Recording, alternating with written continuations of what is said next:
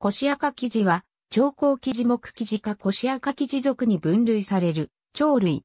インドネシア、マレー半島、ボルネオ島全長オス65から70センチメートル、メス56から57センチメートル。翌長オス27から30センチメートル、メス23.4から27センチメートル。体重オス1.8から2.6キログラム。卵は長径5.4センチメートル、短径4センチメートル。殻の色彩はクリーム色。亜種、オジロコシアカキジを独立種とする説もある。バードライフインターナショナルでは2020年の時点でラフューリー・ルーファを独立種とする説を採用している。以下の亜種の分類、分布は IOC ワールドバードリストに従う。亜種の和名、形態は黒田、小宮に従う。河川の周囲にある森林に生息する。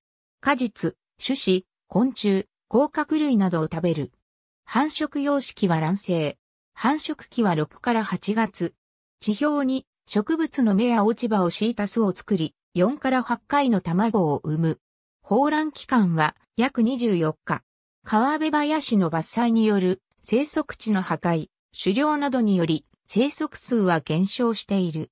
1986年にマレーシアの古代軍がワシントン条約付属書3に掲載されたが、2009年に抹消されている。